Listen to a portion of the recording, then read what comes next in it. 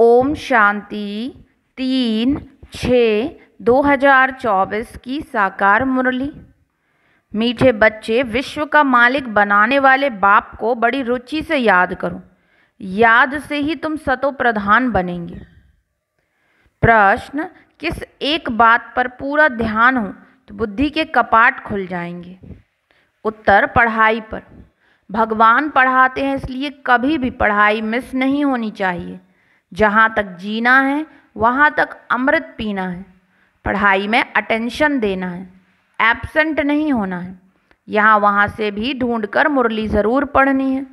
मुरली में रोज़ नई नई पॉइंट्स निकलती रहती हैं, जिससे तुम्हारे कपाट ही खुल जाएँगे। ओम शांति। शिव भगवान उवाच ग्रामों प्रति। यह तो सारे कल्प में एक ही बार होता है। यह भी तुम जानते हो और कोई भी जान न सके। मनुष्य इस रचयिता और रचना के आदि मध्य अंत को बिल्कुल ही नहीं जानते। तुम बच्चे जानते हो कि स्थापना में विघ्न तो पड़ने ही है। इसको कहा जाता है ज्ञान यज्ञ। बाप समझाते हैं, इस पुरानी दुनिया में तुम जो कुछ देखते हो, वह सब स्वाहा हो जाना है। फिर उसमें ममत्व नहीं रखना चाहिए। बाप आकर पढ़ाते हैं नई दुनिया के लिए। यह है पुरुषोत्तम संगम युग। यह है विशस और वाइसलेस का संगम, जबकि चेंज होनी है। नई दुनिया को कहा जाता है वाइसलेस वर्ल्ड। आदि सनातन देवी देवता धर्म ही था, यह तो बच्चे जानते हैं, पॉइंट से समझने की है। बाप रात दिन कहते रहते हैं, बच्चे, तुमको गुहेते गुहे बातें सुनाता हूँ। जहाँ तक बाप है, पढ़ाई चलनी है, फिर पढ़ाई भी बंद हो जाएगी। इन बातों को तुम्हारे सिवाय कोई भी नहीं जानते। तुम्हारे में भी नंबर वार हैं जो फिर बाप दादा ही जानते हैं। कितने गिरते हैं, कितनी तकलीफ़ होती है। ऐसे नहीं सदैव सभी पवित्र रह सकते हैं। पवित्र नहीं रहते तो फिर सजाएँ खानी पड़ती हैं। माला के दाने ही पास विद ऑनर्स होते हैं। फिर प्रजा भी बननी, फिर प्रजा भी बनती है। यह बहुत समझने की बातें हैं। तुम कोई को भी समझाओ तो वह समझ थोड़े ही सकते हैं। टाइम लगता है। सो भी जितना बाप समझा सकते, उतना तुम नहीं। रिपोर्ट्स आदि जो आती हैं, उनको बाप ही जानते हैं। फलाना विकार में गिरा यह हुआ। नाम तो नहीं बता सकते, नाम बताएँ, फिर उनसे कोई बात करना भी पसंद नहीं करेंगे। सब नफरत की दृष्टि से देखेंगे, दिल से उतर जाएँगे, सारी की कमाई चट हो जाएगी। यह तो जिसने धक्का खाया, वह जाने, या बाप जाने, यह बड़ी गुप्त बातें हैं। तुम कहते हो फलाना मिला, उन उनको बहुत अच्छा समझाया वह सेवा में मदद कर सकते हैं। परंतु वह भी जब सम्मुख हो ना, समझो गवर्नर को तुम अच्छी तरह समझाते हो, परंतु वह थोड़े ही किसको समझा सकेंगे? कोई को समझाएँगे तो मानेंगे नहीं। जिसको समझने का होगा वही समझेगा, दूसरे को थोड़े ही समझा सकेंगे। तुम बच्चे समझाते हो कि यह तो कांटों का जंगल है, इसको हम मंगल बनाते हैं। मंगलम भगवान विष्णु कहते हैं ना यह श्लोक आदि सब भक्ति मार्ग के हैं। मंगल तब होता है जब विष्णु का राज्य होता है। विष्णु अवतरण भी दिखाते हैं। बाबा ने सब कुछ देखा हुआ है। अनुभवी है ना? सभी धर्म वालों को अच्छी तरह जानते हैं। बाप जिस तन में आएँगे तो उसकी पर्सनालिटी भी चाहिए ना। तब कहते हैं, बहुत जन्मों के अंत में, जबकि यहाँ का बड़ा अनुभवी होता है। तब मैं इनमें प्रवेश करता हूँ। वह भी साधारण पर्सनालिटी का यह मतलब नहीं कि राजा रजवाड़ा हो। नहीं, इनको तो बहुत अनुभव है। इनके रथ में आता हूँ बहुत जन्मों के अंत में। तुमको समझाना पड़े, यह राजधानी स्थापन होती है। माला बनती है। यह राजधानी कैसे स्थापन हो रही है? कोई राजा, रानी, कोई क्या बनते? यह सब बातें एक ही दिन में तो कोई समझ नहीं सकता। बेहद का बाप ही बेहद का वर्षा देते हैं। भगवान आकर समझाते हैं, सो भी मुश्किल थोड़े पवित्र बनते हैं। यह भी समझने में टाइम चाहिए, कितनी सजाएँ खाते हैं। सजाएँ खाकर भी प्रजा बनते हैं। बाप समझाते हैं, बच्चे तुम्हें बहुत बहुत मीठा भी बनना है, कोई को दुख नहीं देना है। बाप आते ही हैं सबको सुख का रास्ता बताने, दुख से छुड़ाने तो फिर खुद किसको कैसे दुख देंगे? यह सब बातें तुम बच्चे ही जानते हो, बाहर वाले बड़ा मुश्किल समझते हैं। जो भी संबंधी आदि हैं, उन सबसे ममत्व तोड़ देना है। घर में रहना है, परंतु निमित्त मात्र। यह तो बुद्धि में है कि यह सारी दुनिया खत्म हो जानी है, परंतु यह ख्यालात भी किसको रहना नहीं। यह ख्यालात भी किसको रहता नहीं। जो अनन्य बच्चे हैं, वह समझते हैं, वह भी अभी सीखने का पुरुषार्थ करते रहते हैं। बहुत फेल भी होते, हो पड़ते हैं। माया की चक्री बहुत चलती है। वह भी बड़ी बलवान है, परंतु यह बातें और कोई को थोड़े ही समझा सकते हैं। तुम्हारे पास आते हैं, समझाना चाहते हैं। यहाँ तुम्हारे पास आते हैं, समझना चाहते हैं। यहाँ क्या होता है? इतनी रिपोर्ट्स आदि क्यों आती हैं? अब इन लोगों की तो बदली होती रहती है तो फिर एक एक को घर बैठ समझाना पड़े। फिर कहते, यह तो बड़ी अच्छी संस्था है। राजधानी की स्थापना की बातें बड़ी गुहे गोपनीय हैं। बेहद का बाप बच्चों को मिला है तो कितना हर्षित होना चाहिए। हम विश्व के मालिक देवता बनते हैं तो हमारे में दैवी गुण भी ज़रूर चाहिए। एम ऑब्जेक्ट तो सामने खड़ी है।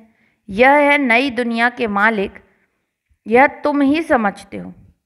हम पढ़ते हैं। बेहद का बाप जो नॉलेजफुल है, वह हमको पढ़ाते हैं। अमरपुरी अथवा हेवन में ले जाने के लिए। हमको यह नॉलेज मिलती है। आएँगे वही जिन्होंने कल्प कल्प राज्य लिया है। कल्प पहले मुआफिक हम अपनी राजधानी स्थापन कर रहे हैं। यह माला बन रही है नंबर वार जैसे स्कूल में भी जो अच्छी अच्छा पढ़ते हैं, उनको स्कॉलरशिप मिलती है ना?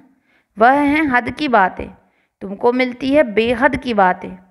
जो बाप के मददगार बनते हो, वही ऊंच पद पाते हो। वास्तव में तो मदद अपने को ही करनी है। पवित्र बनना है सतो प्रधान थे, फिर से बनना है ज़रूर। बाप को याद करना है। उठते, बैठते, चलते बाप को याद कर सकते हो। जो बाप हमको विश्व का मालिक बनाते हैं, उनको बहुत रुचि से याद करना है। परंतु माया छोड़ती नहीं है। अनेक प्रकार की किस्म किस्म की रिपोर्ट्स लिखते हैं। बाबा हमको माया के विकल्प बहुत आते हैं। बाप कहते हैं, युद्ध का मैदान है ना? पाँच विकारों पर जीत पानी है। बाप को याद करने से तुम भी समझते हो, हम सतो प्रधान बनते हैं। बाप आकर समझाते हैं, भक्ति मार्ग वाले कोई भी जानते नहीं। यह तो पढ़ाई है। बाप कहते हैं, तुम पावन कैसे बनेंगे? तुम पावन थे, फिर बनना है। देवता पावन है ना? बच्चे जानते हैं, हम स्टूडेंट पढ़ रहे हैं। भविष्य में फिर सूर्यवंशी राज्य में आएँगे। उसके लिए पुरुषार्थ भी अच्छी रीति करना है। सारा मार्क्स के ऊपर मदार है।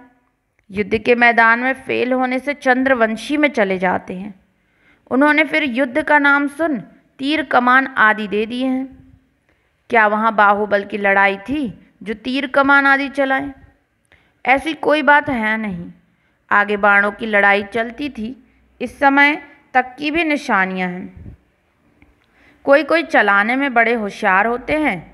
अब इस ज्ञान में लड़ाई आदि की कोई बात नहीं है।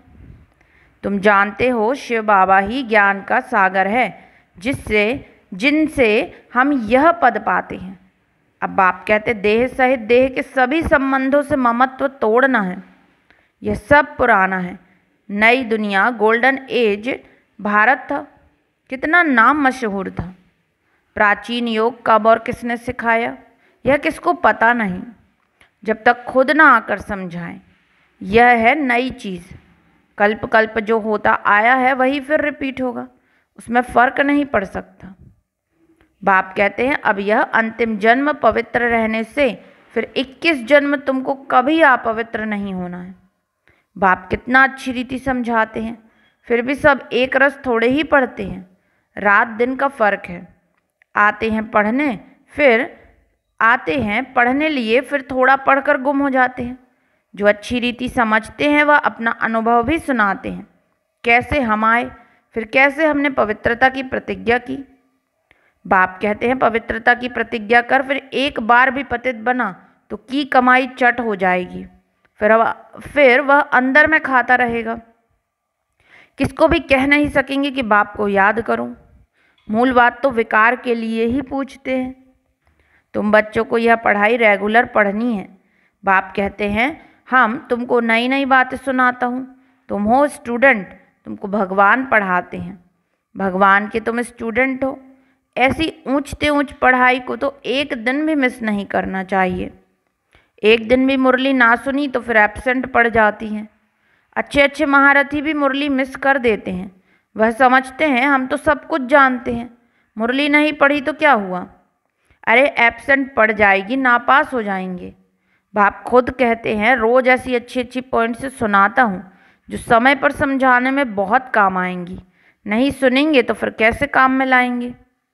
जब तक जीना है, अमृत पीना है, शिक्षा को धारण करना है। एबसेंट तो कभी भी नहीं होना चाहिए। यहाँ वहाँ से ढूंढ कर कोई से लेकर भी मुरली पढ़नी चाहिए। अपना घमंड नहीं होना चाहिए।